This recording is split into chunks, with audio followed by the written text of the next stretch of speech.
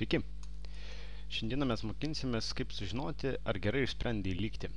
Iškart siūlau neišsigas didelės video trukmės, nes pagrindinę dalį video užims pavyzdžių sprendimas, o esminį dalyką išsiaiškinsim gan greitai. Taigi, pamoka susidės iš trijų dalių. Visų pirma, truputį reiks prisiminti, kas yra lygties nežinomasis ir kas tai yra lygties sprendinys tam, kad galėtume kalbėti vienodą kalbą šiame video toliau. Antroje pamokos dalyje jau išsiaiškinsim, kaip jį visgi sužinoti, ar tu gerai išsprendi lygti, ar visgi reiktų ją perspręsti iš naujo.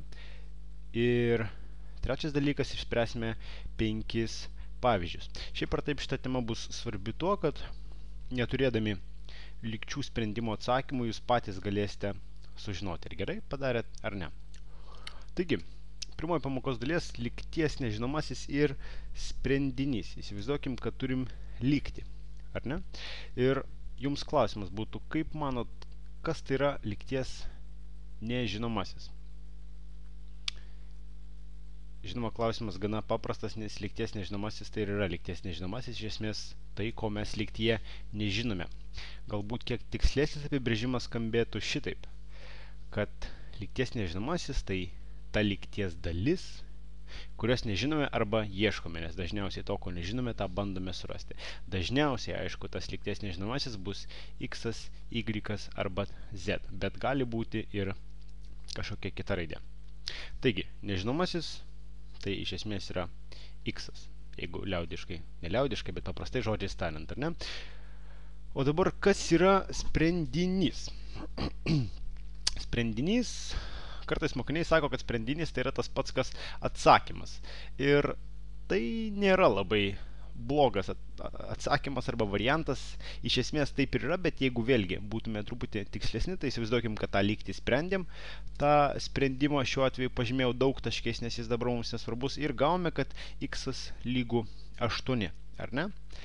Tai x lygų 8, ši lygybė iš esmės ir būtų mūsų sprendinys jeigu taip vat, jau tiksliau apibrėžimą pažiūrėti, tai lygties sprendinys tai yra ta lygties nežinomojo reikšmė, ar ne, x reikšmė, su kuria abi lygties pusės tampa lygios. Tai jau jeigu labai tiksliems būti, tai sprendinys šiuo atveju yra 8. Ta reikšmė nežinomojo, su kuria ir šita lygties pusė, ir šita lygties pusė yra lygios.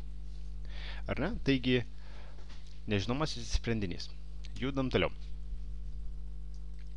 Antroji pamokos dalis, kaip sužinoti, ar mes gerai sprendėm lygti ar ne. Pavyzdžiui, kaip prieš tai turėjom atvejį, kad 2x plus 14 lygų 30 o gavome sprendinį, kad x lygų 8. Ir tarkim, jūs sprendėt pamokoje ir vat, gavot tokį, tokį sprendinį ir kaip dabar sužinoti, ar, ar, jis, ar jis teisingas ar ne. Gal jums kyla minčių. Jeigu kyla, tai puiku. Jeigu nekyla, tai pagalvokit. Šiaip ar taip aš tai pasakysiu. Nes tas labai susiję su tuo, kas yra sprendinys, ar ne? Sprendinys, tai yra šita reikšmė, su kuria abi pusės tampa lygios. Tai mes iš esmės tą norim ir patikrinti. Ar su aštuonetu abi pusės tampa lygios. Mes kol kas dar to nežinom. Mes įsprendėm, atrodo, kad teisingai sprendėm, bet dar nežinom, todėl reikia patikrinti. Kaip tą padaryti? E, du žingsneliai. Pirmas. Į pradinę lygtį įstatyk gautą sprendinį. Antras Patikrink, ar abiejose lygties pusėse gauni tą patį. Ką mes ir pamėginsim padaryti. Taigi, gavau sprendinį 8. Dabar į pradinę lygtį įstatau 8. Reiškia, buvo 2x, dabar rašau 2 kart 8, nes 2x yra pralista daugybė, ar ne? Plius 14 lygų 30. Tik tiek, kad aš dar nežinau, ar šitos abi pusės yra lygios. Todėl rašau klaustuką. Aš dar vis tikrinu nes dar neapskaičiau, kas čia gausis, šį čia jau nukopijavau iš lygties, bet dar nežinau, ar abie pusės lygios. Taigi, 2 kart 8 lygų 16 plus 14, dar nežinau, ar gausiu tą patį, ar ne, čia viską perrašau. Dabar sudedu 16 su 14, gaunu 30 ir taip, 30, atsiprašau, atsiprašau, atsiprašau, truputį suklydau, 30 lygų 30. Todėl x lygu 8 atsakymas tinka. Aš patikrinau, ar gerai išsprendžiau lygti ir taip, aš gerai išsprendžiau lygti. Taigi, mes pamėginsime patikrinti šias penkias lygtis. 1, 2, 3, 4, 5. Patikrinsime, tarkim, mes sprendėme, gavome va štai tokias reikšmes ir dabar šioje likusioje pamokos dalyje patikrinsime, ar gerai buvo išspręsta, ar ne. Taigi, pradėkime. Pirmoji lygtis x minus 3 lygų 6 ir žiūrim, gavom, kad x lygų minus 3. Patikrinkime, ar tai yra teisinga.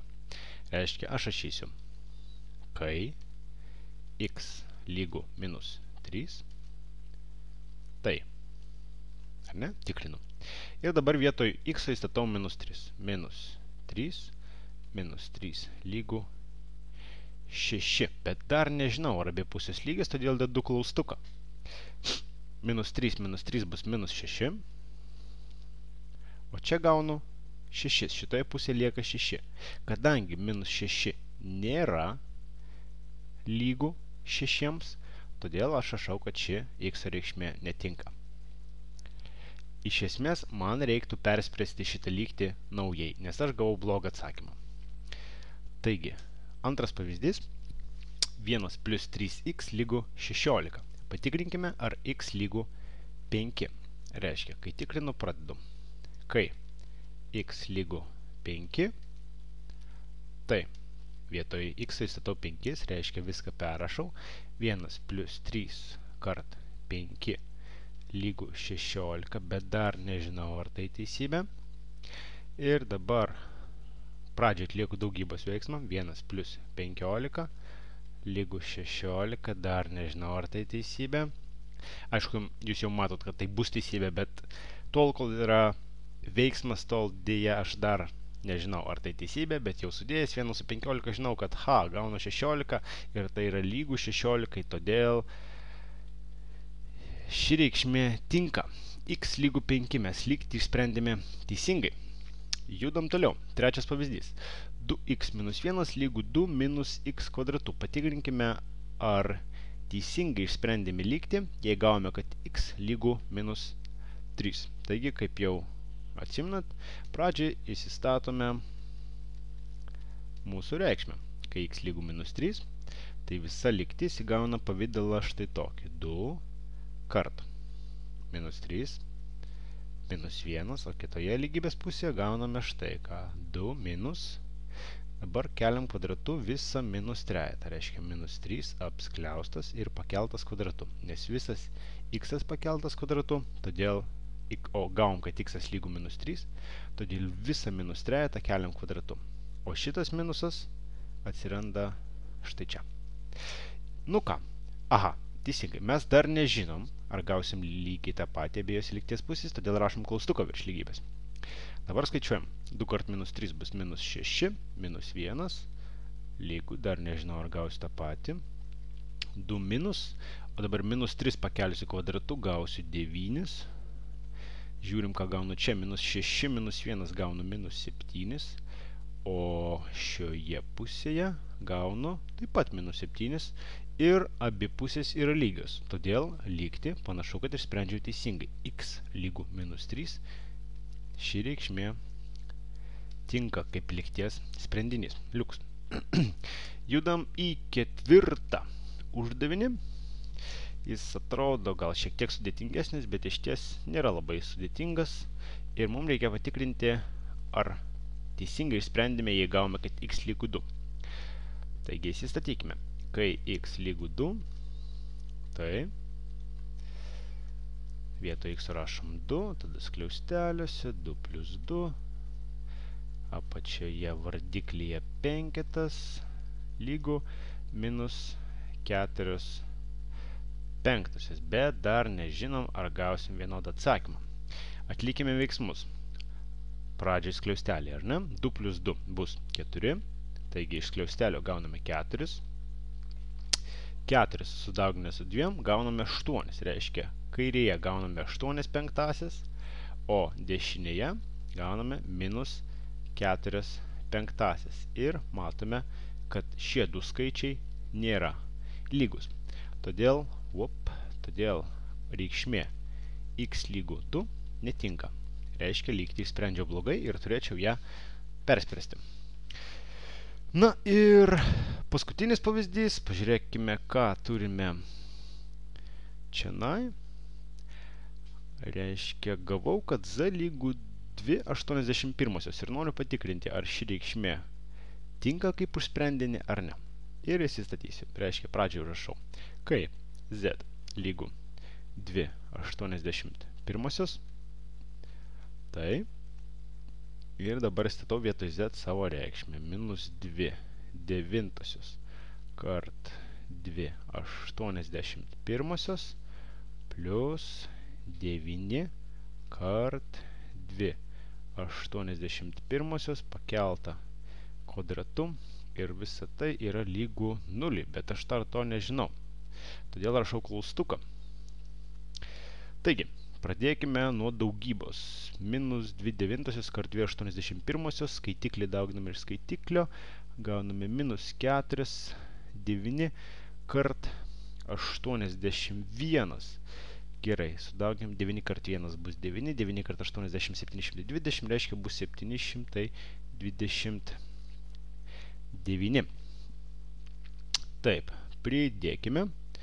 Aha, dabar čia gal pagudrauti pamėginsiu.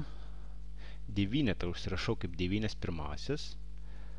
Dauginu jį iš dabar šitą keliu kvadratu. Gaunu skaitiklyje 4, o vardiklyje gaunu 81 gaučiau šiaip 81 kvadratu, bet žinau, kad 81 yra 9 kart 9. Todėl iš esmės gaunu 9 kart 9 kvadratu, bet užsirašysiu tą kaip 9 kart 9, ar ne vieną kartą, ir kadangi kvadratu viskas dar kartą, kart 9 kart 9. Tai iš esmės tai būtų 9 ketvirtoji. Parašysiu 9 kart 9 kart 9 kart 9 ir lygų 0, bet dar nežinau, ar tai bus lygų 0. Kodėl aš tai pagudravau? Iš esmės dėl to, kad mačiau, kad čia devynetas ir dabar jau matau, kad galėsiu prastinti. Reiškia, po vieną devynetą aš galiu išsibraukti. Reiškia, iš šios trupmenos nieko nelieka, o čia lieka 4 padalinta iš 9 kubų, kas yra 9 kart 9 ir dar kart 9 bus 729 lygų 0, bet dar nežinau, ar tikrai lygų 0. Ką dabar darau? Minus 4 729 plus 4 729 gauname 0, o dešinė pusė irgi gaunasi 0. Todėl 0 lygų 0.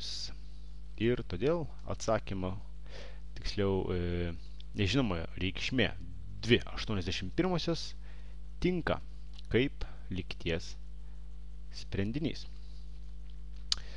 Taigi, tiek apie pasitikrinimą. Ar gerai išsprendė lygti, tikiuosi, kad jums pavyks tą daryti ir linkiu sėkmės.